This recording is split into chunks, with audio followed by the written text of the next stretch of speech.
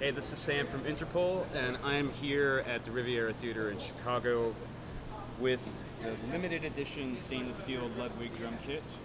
Uh, I am a proud owner of the Bonham uh, edition, which are uh, quite larger, but I'm a big fan of the stainless steel shells, uh, mainly for the reason of sheer tone. And I'll just uh, give a little sample of these toms.